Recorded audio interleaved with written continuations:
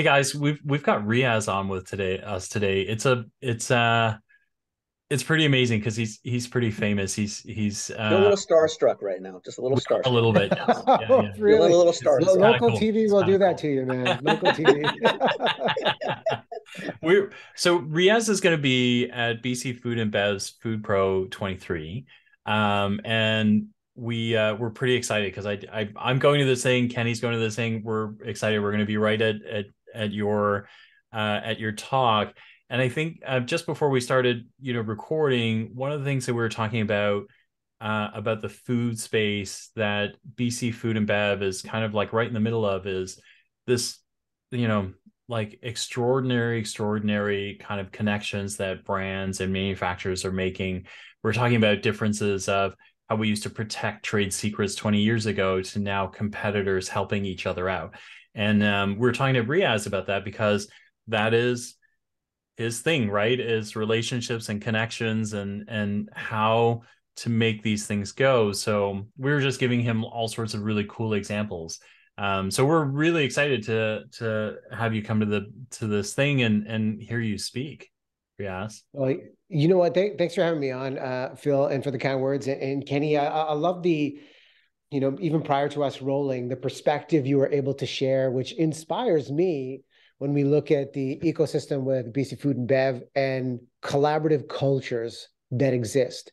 And maybe that's something in the past three years that really shifted and changed that we all just need to look as as a collective society look out for each other and serve the greater good with the innovation with the progress being mm-hmm. made. And the thing that i love is that small wins are big wins and when i work with bigger companies i hear well different teams have different priorities and we're completely siloed. But the one thing that i've heard and observed from this culture is that we're in it for each other. Even though we do have different priorities we're here to listen we're here to lift each other up and we're here to support one another. And, you know, I'm a firm believer if we lead with this essence of meaningful human connection, especially in an industry like this, we will all win by being able to outcare the competition. I mean, wh- what a competition to have. We're just trying to How cool outcare would that and, be? and, and serve the greater good. How cool would that be?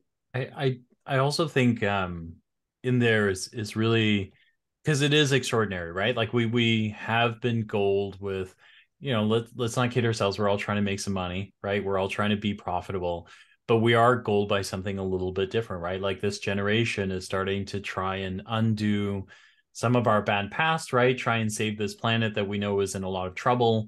Like all of these things are kind of I think they all help with the extraordinary, right? Like being able to to aim at something really different. So I think it's really Mhm. cool. Like I, I think it's really cool too. And food is one of those vessels that actually can do this. If you ever want to connect with people, you connect people, connect with people over food. Culturally, um, you know, it's been done for a thousand years. We like it. That's what it's about. And I think it sort of transcends when even into the production of and the processing of. I think it's just it seems to be embedded into this this ecosystem of of food in general, whether it's the distribution, the production, the processing. It just seems to be all intertwined where it's a really cool industry that way. can can Well, I ask? great- Sorry, Yeah, yeah, sorry. go go ahead. ahead, please. Yeah, a- as you both are articulating about the industry, it makes me think of the, the value of just kind of maintaining a beginner's mindset in all of it.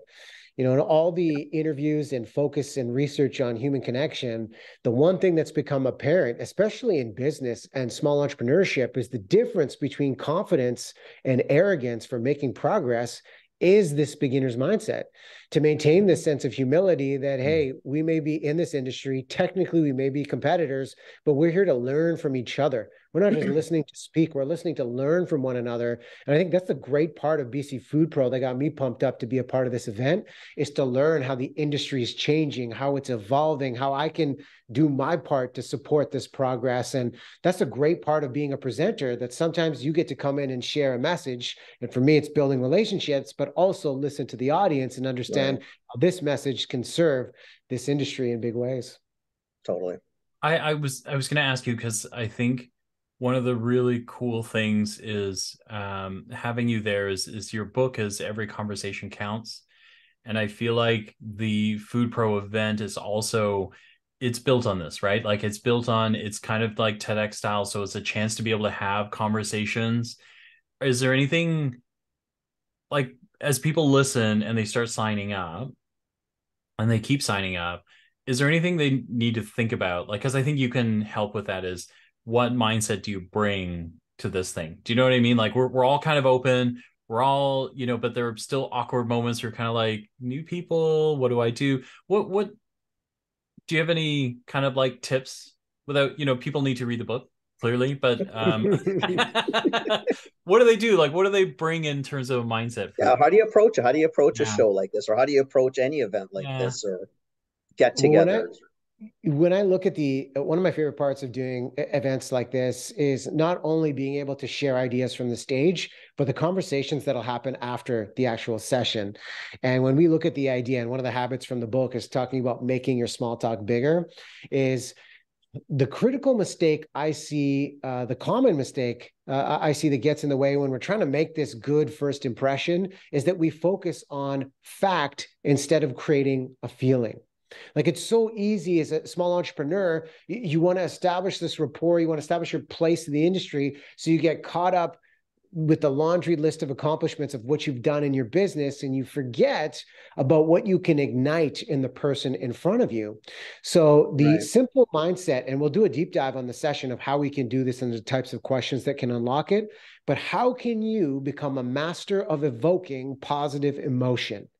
If that is where we put the focus, it's leading with our sense of curiosity. And the ultimate goal isn't what you can say to impress somebody, it's how you ignited their self discovery. And they'll appreciate you for that curiosity of how you leaned in. So, as a tease, so we don't give too much away, we will break down the, the, the types of questions you can ask because the quality of your questions will ultimately determine the depth of your connections in this industry and in your personal life. Ah, okay, cool. I'm stoked. Yeah, no, okay. no. I, I, I starstruck to now have to go and listen. what the hell is going on this morning? This is awesome. this is amazing. Um, and then you don't have to say yes or no, but will do you think you'll be signing books if people have books there? Of your books? Absolutely. If, if they have books and they want them signed, yeah, man. I love hanging out after and and, okay. and learning where people are at, okay. what they love about human connection. And if they've got a book to be signed, let's do it. That's awesome. I, I was going to ask you about the second the part you said there. So you are going to hopefully hang out a little bit, do your thing, come out, talk to people because I'm sure people would love to. I mean, the yeah. the topic already sounds very cool. Yeah. I think it's super important. Um, I think we do need to. I mean, I think if anything, what COVID show, showed us is that we had a time there where we really lacked a lot of human interaction and touch and feel and all those emotions that kind of can get lost in this medium or when you're just not talking to anybody.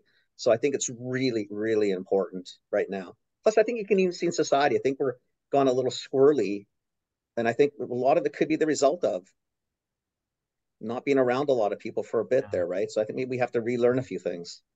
Yeah, a lot of things were disrupted uh, yeah. in a major way. And I believe uh, much of it go, goes back to just the basics of how we get curious, how we listen to each other, the vulnerability we can give one another, uh, the empathetic curiosity we can lean in with, and ultimately how we appreciate one another. I mean, this event to me is a celebration of progress, which I think is phenomenal. We get to hear powerful stories, and then ultimately, yeah, connect with the attendees. I'll be the guy loitering in the back by the veggie tray. Come find me. Got to stay healthy, you know. but uh, let's let, us let us talk about it, about what resonates and how connection can show up in our lives. So awesome. uh, yeah, I'm I'm looking forward to meeting uh, the group that'll be there. It's awesome. Okay, Very so cool, man. Pro 23. Uh, Riaz will be there. We'll be there. We'll be loitering with you in the back yeah, somewhere. But... we'll just be hanging on. Just you know, we will loiter in numbers. Yes, yeah. that's community right there. Sounds cool, man. Awesome. Thanks, guys. Thanks.